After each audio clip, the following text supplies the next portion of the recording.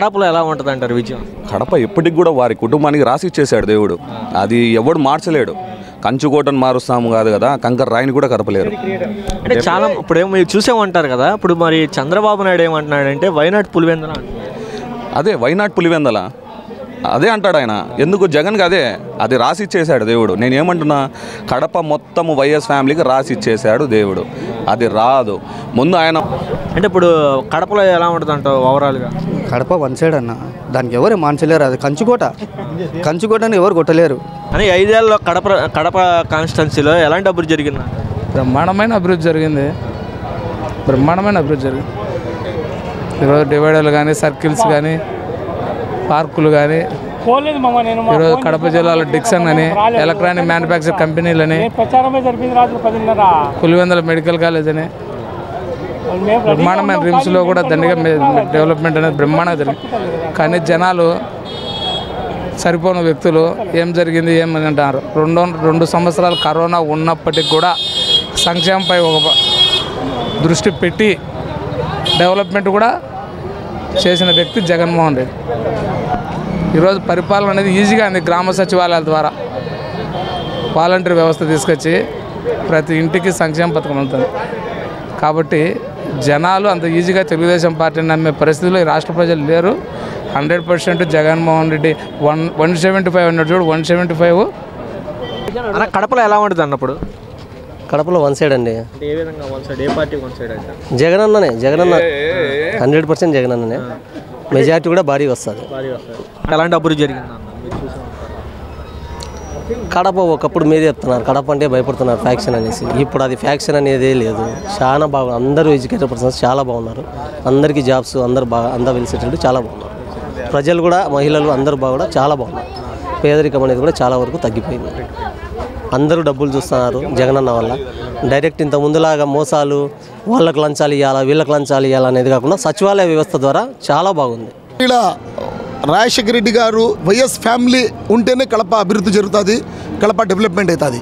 మీరు చూశారు ఈరోజు న్యూ కలెక్టరేట్ దగ్గర రోడ్డు చూడండి డివైడర్స్ చూడండి అలా ఉండే లైట్స్ చూడండి పోల్స్ చూడండి పార్కులు చూడండి గ్రైండ్ డ్రైనేజ్ సమస్యలు.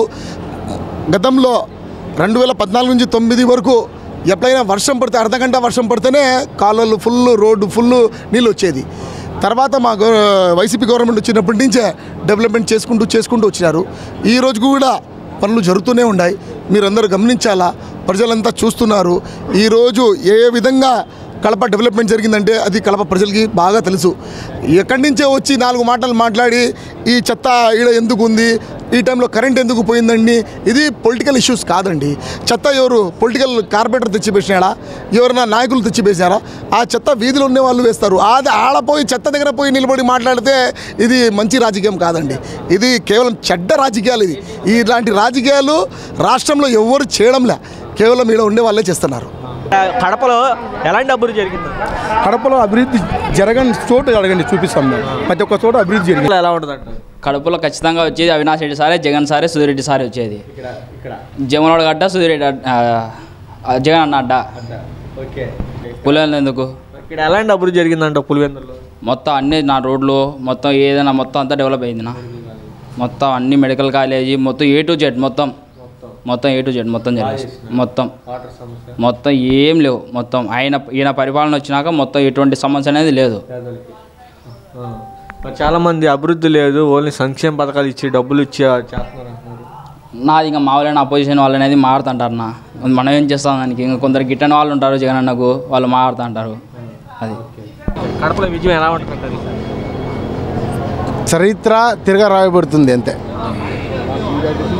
అంటే చాలామంది ఏమంటున్నారంటే సంక్షేమే జగన్ ఇస్తున్నాడు కానీ అభివృద్ధి లేదంటున్నారు. దీని మీద అభివృద్ధి ఇప్పుడు ఎన్ని ఏసీ కంపెనీలు వచ్చినాయి? ఇది మీడియా షో ఆఫ్ చేసుకోవడం లేదు మనం అంతే. కానీ అభివృద్ధి అనేది ప్రజలకి తెలుసు. మన కడప నగరమే చూస్తే డ్రైనేజ్ సంస్థ కానీ సర్కిల్ సంస్థ కానీ మన బ్రెయిన్ హాస్పిటల్ కానీ క్యాన్సర్ హాస్పిటల్ కానీ ఇలాంటి ఎన్నో అభివృద్ధి జరిగింది. అది చూసి ప్రజలకి తెలుసు. వంద మంది దొంగలు వచ్చి దొంగ దొంగ దొంగ అంటే దొంగ కాదు. ప్రజలు నిర్వహించుకున్నారు అది వన్ సైడ్ వారండి. ఎలా ఉంటుంది అంటారు ఇప్పుడు వైసీపీ నుంచి అవినేష్ రెడ్డి గారు పోటీ చేస్తారు. కడపలో ఎలా ఉంటుంది? కడపలో బ్రహ్మాండమైన మెజార్టీ వస్తుంది. జగన్ సొంత జిల్లా వాడు ఒకటి. పెద్ద ఆయన రాజశేఖర రెడ్డి గారు చేసిన పనులు ఉన్నాయి. ఇక్కడ స్టీల్ ప్లాంట్ వస్తుంది ఒక ఆశ ఉంది ఆయన వస్తే. యువతకు ఉద్యోగాలు వస్తాయి. ఈ ప్రాజెక్టులు పూర్తి అవుతాయి ఆ? అదొకటి ప్రజల్లో ప పథకాలు అనేటివి బాగా బలంగా పోయినాయి. అక్కడిక్కడ ఏ వ్యక్తిని పట్టుకొని అక్కడికి ఇక్కడికి ఎంఆర్ఓ ఆఫీసుల చుట్టూ తిరుక్కోకుండా సచివాలయాల్లోనే గ్రామాల్లోనే పనులు జరుగుతున్నాయి కాబట్టి ప్రతి ఒక్కరికి కూడా సామాన్య ప్రజలు ప్రతి ఒక్కరికి కూడా జగనన్న మీద నమ్మకంతో బ్రహ్మరథం పడతారు. ఈసారి కూడా ఖచ్చితంగా జగనన్నే వస్తాడు. కడపలో విజయం ఎలా ఉండబోతుంది? ఘన విజయం అండి. బంపర్ మెజారిటీతో అమ్జద్ బాషా అన్న గెలుస్తారని మా అభిప్రాయం. ప్రజలందరి మా అందరిలో మేము పోతున్నాము. డోర్ టు డోర్ క్యాన్వాసింగ్ చేస్తున్నాము. ప్రజలందరూ బాగా ఆదరిస్తున్నారు. ఎవు ఆ, ఆ, మొత్తం మెజారిటీ కోసం మనము ఎదురు చూస్తున్నాం. అంతే. గెలుపు ఎప్పుడూ అయిపోయింది మనది. మెజారిటీ కోసం మేము ఎదురు చూస్తున్నాం. అంటే కొంతమంది అంటున్నారంటే అభివృద్ధి లేదు. కడపలో ఓన్లీ సంక్షేమ ఎందుకు లేదండి? మీరు చూడండి రోడ్స్ అయినా కానీ సర్కిల్స్ అయినా కానీ ఎంత అభివృద్ధి చెంది? ఈ వైఎస్ కుటుంబంలోనే కడపలో చాలా డెవలప్మెంట్ జరిగింది.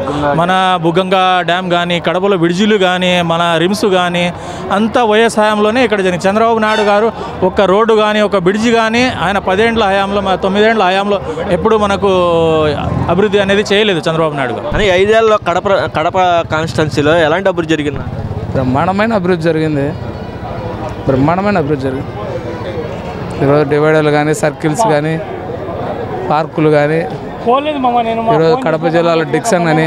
ఎలక్ట్రానిక్ మ్యానుఫ్యాక్చర్ కంపెనీలని పులివెందుల మెడికల్ కాలేజ్ అని బ్రహ్మాండమైన రిమ్స్లో కూడా దండిగా డెవలప్మెంట్ అనేది బ్రహ్మాండంగా జరిగింది. కానీ జనాలు సరిపోని వ్యక్తులు ఏం జరిగింది ఏం అని అంటారు. రెండు రెండు సంవత్సరాలు కరోనా ఉన్నప్పటికి కూడా సంక్షేమంపై ఒక దృష్టి పెట్టి డెవలప్మెంట్ కూడా చేసిన వ్యక్తి జగన్మోహన్ రెడ్డి. ఈరోజు పరిపాలన అనేది ఈజీగా ఉంది గ్రామ సచివాలయాల ద్వారా. వాలంటరీ వ్యవస్థ తీసుకొచ్చి ప్రతి ఇంటికి సంక్షేమ పథకం ఉంటుంది కాబట్టి జనాలు అంత ఈజీగా తెలుగుదేశం పార్టీని నమ్మే పరిస్థితిలో ఈ రాష్ట్ర ప్రజలు లేరు. Hundred percent Jaganmohan Reddy one one seventy five అన్నాడు చూడు వన్ సెవెంటీ ఫైవ్. కడపలో ఎలా ఉంటుంది అన్నప్పుడు కడపలో వన్ సైడ్ అండి. అంటే ఏ విధంగా వన్ సైడ్ ఏ పార్టీ వన్ సైడ్ అంటే జగనన్ననే జగనన్న. హండ్రెడ్ పర్సెంట్ జగనన్ననే. మెజారిటీ కూడా భారీ వస్తుంది. ఎలాంటి అభివృద్ధి జరిగింది అన్న కడప ఒకప్పుడు మీరే చెప్తున్నారు. కడప అంటే భయపడుతున్నారు ఫ్యాక్షన్ అనేసి. ఇప్పుడు అది ఫ్యాక్షన్ అనేది లేదు. చాలా బాగా అందరూ ఎడ్యుకేటెడ్ పర్సన్స్ చాలా బాగున్నారు. అందరికీ జాబ్స్ అందరు బాగా అందరూ వెలిసేటట్టు చాలా బాగున్నారు. ప్రజలు కూడా మహిళలు అందరూ బాగా కూడా చాలా బాగున్నారు. పేదరికం అనేది కూడా చాలా వరకు తగ్గిపోయింది. అందరూ డబ్బులు చూస్తున్నారు జగనన్న వల్ల. డైరెక్ట్ ఇంత ముందులాగా మోసాలు వాళ్ళకు లంచాలు ఇవ్వాలా వీళ్ళకి లంచాలు ఇవ్వాలా అనేది కాకుండా సచివాలయ వ్యవస్థ ద్వారా చాలా బాగుంది.